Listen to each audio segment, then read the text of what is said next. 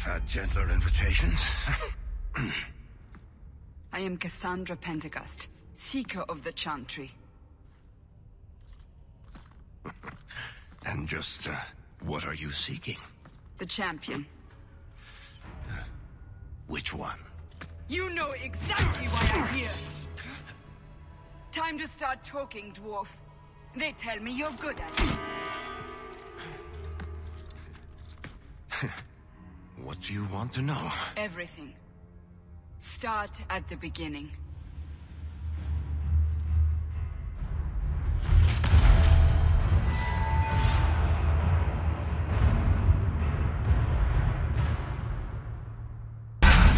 Bullshit. That's not what really happened. Does that not match the story you've heard, Seeker? I'm not interested in stories. I came to hear the truth. What makes you think I know the truth? Don't lie to me! You knew her even before she became the champion. Even if I did, I don't know where she is now. Do you have any idea what's at stake here? Let me guess. Your precious chantries fall into pieces and put the entire world on the brink of war. And you need the one person who could help you put it back together. The champion was at the heart of it when it all began. If you can't point me to her, tell me everything you know. You aren't worried I'll just make it up as I go? Not at all. You'll need to hear the whole story.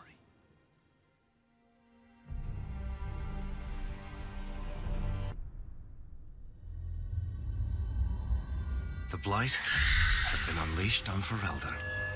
Darkspawn poured out of the wilds, clashing against the army at the ruins of Ostagar. The battle was a disaster. King Cailan died on the field with his men, betrayed by his most trusted general.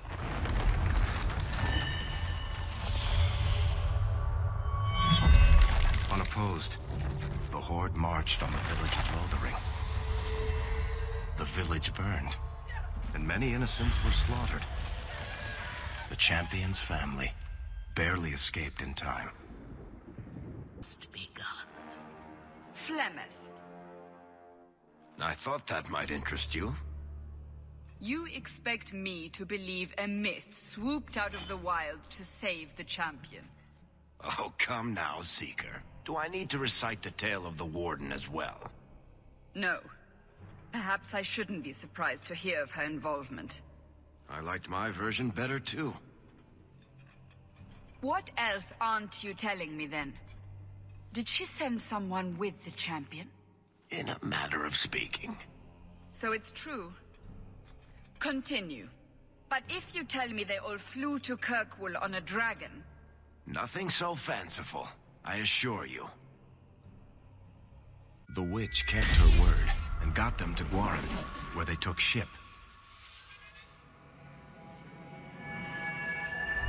They sailed north across the waking sea, lashed by terrible storms. Two weeks they spent in that dark hold, packed in with the fearful and the desperate. And then they saw it. Kirkwall, the city of chains. Long ago, it was part of the Imperium. Slaves coming from far and wide to work the quarries. Now, it's a free city. But I use the word loosely. Sail through those black cliffs and you'll see what the slaves of old saw. The gallows, welcoming you. That's where their ship landed, with all the rest. Thus began the champion's first year in Kirkwall. Word arrived from across the sea that the hero of Ferelden had defeated the Blight. But Lothering was destroyed. Kirkwall was the champion's home now. So she made her name, settling her debts with the mercenaries. It was a busy year in the city. That's when the Qunari landed. great storm had caught their ship and left hundreds of warriors stranded in the city, waiting to return home. That's also when the trouble began with the mages. The Templars had become very powerful under Knight Commander Meredith. But, most importantly, that's when I first met the champion. No, this can't be right. The champion was an apostate who came to Kirkwall to spread subversion against the Chantry. But you claim this wasn't the case.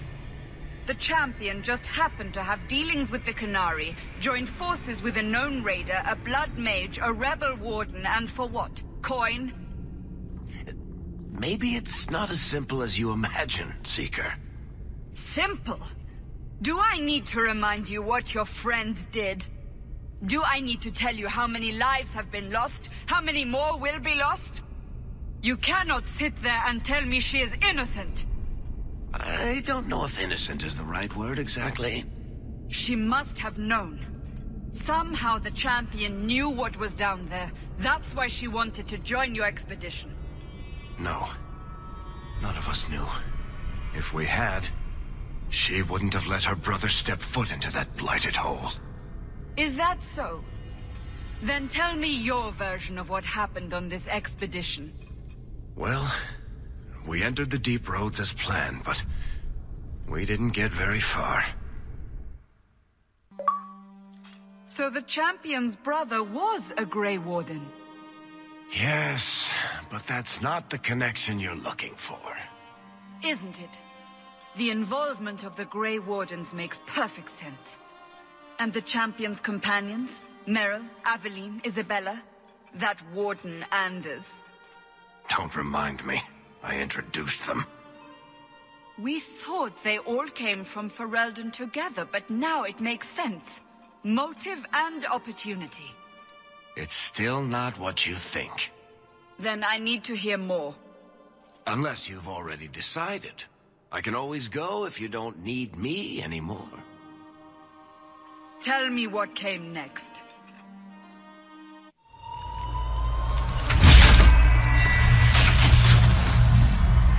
The treasure we found in the deep roads made us a fortune. The champion moved up in the world. Literally. Bought a mansion in Hightown. Everyone knew who she was now. Even the Viscount was taking notice. The Grey Wardens left Kirkwall. It was months before we learned Carver survived. Three years later, the Qunari still haven't left. The Qunari insisted they were waiting for their ship. But some of us knew better.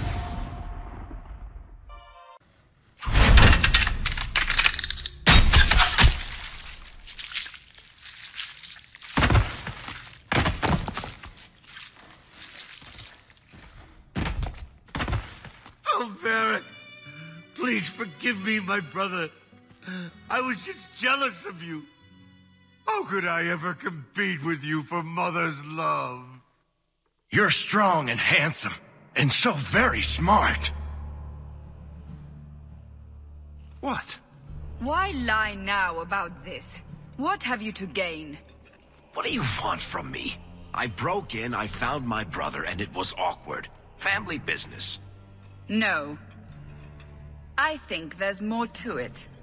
Fine. You want the gory details? I'll give you the gory details. Are you sure about this? The champion was asked to go to the Qunari. I suppose you think she planned the entire thing. Considering what it led to. Come on, Seeker. I'm not going to sell Hawke short. But nobody could have foreseen the way that that would go down. Or do you still think I'm lying to protect my friend? There are elements of your story that make sense. And you couldn't have known about them otherwise. Well, that's a relief. But that doesn't mean you're telling me everything.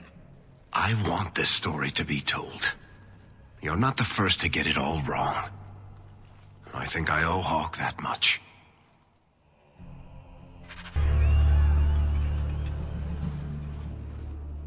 You seem confused, Seeker. The champion killed the Arishok in single combat? It just sounds so... romantic. If I didn't know better, I'd say you developed a case of hero worship. Why?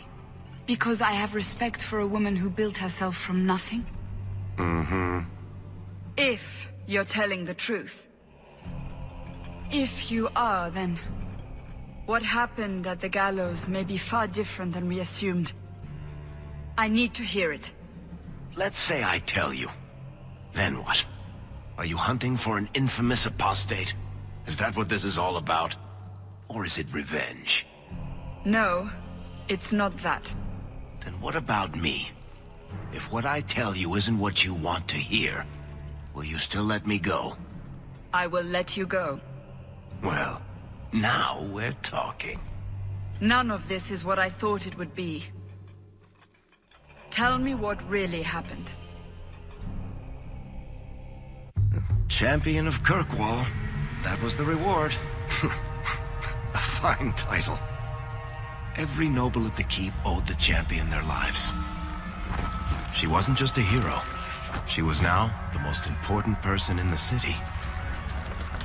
Except for Knight Commander Meredith, of course. With the Viscount dead, she stepped in to keep order. Things quickly got out of hand. The more she squeezed the mages, the more they resisted. The more they resisted, the tighter she squeezed. After three years of that, it all came crashing down.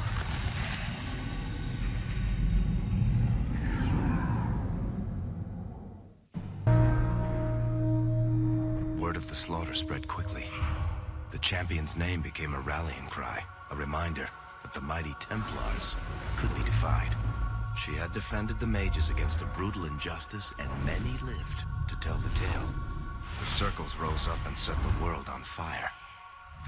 More Templars arrived at Kirkwall to restore order, but we were already long gone. We vanished into the hills, and circumstance eventually forced us all to leave the champion's side. Well, all of us except for Anders. You still hear the stories, of course. With each telling they grow, even if, at the core remains the truth. A new legend had been born. So that's it. That's the whole story. Then Meredith provoked the Circle. She was to blame. Or that damned idol was. Or Anders. Take your pick. Even so, had the champion not been there... It might never have even gone that far. I see. So how is hearing all this going to help? You've already lost all the circles. In fact, haven't the Templars rebelled as well? I thought you decided to abandon the Chantry to hunt the mages. Not all of us desire war, Varric. Please, if you know where the champion is, you must tell me. She is a hero. A woman that the mages would listen to. Someone who was there at the beginning. The champion could stop this madness before it's too late. She may be the only one who can. Is that what this is all about? In that case, I wish I could help you. Just tell me one thing, then. Is the champion dead? Oh, I doubt that. Then you are free to go, Varric. May the Maker watch over you during the dark times ahead of us. Same to you, Seeker. Same to you.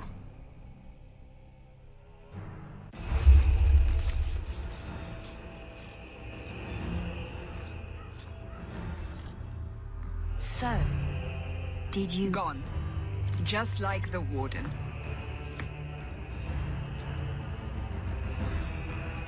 That is no coincidence.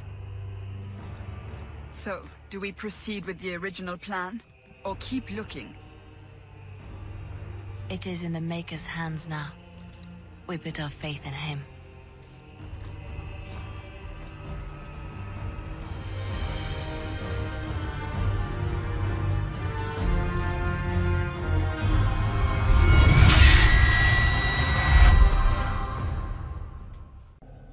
Have a report you might find interesting.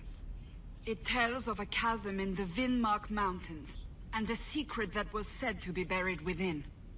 Yet when the Chantry went to investigate, they were turned away by the Grey Wardens. And why would I find that interesting? Because the champion was there. I can't help but notice you failed to mention this adventure. Oh, that? I didn't think you'd be interested. Just some business with Hawke's family. A, a few Carta dwarves who went too far. You're not going to believe me. I'll take my chances. All right.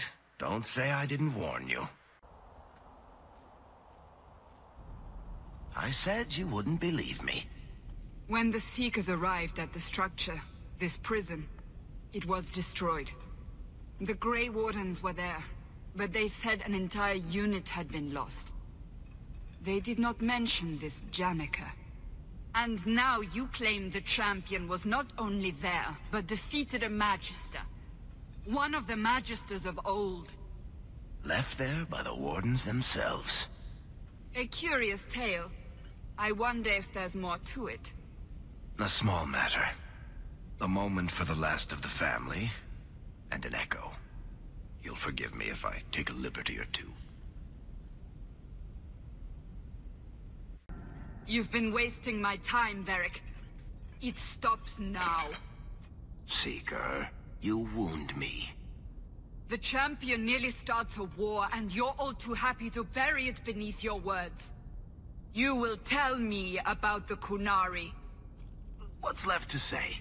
The Arishok was killed and a champion crowned. And yet we had Orlesians threatening sanctions of every kind and measure. What happened at Chateau Haine? What happened with Tallis? You've heard about her? We had someone there, but they lacked your access.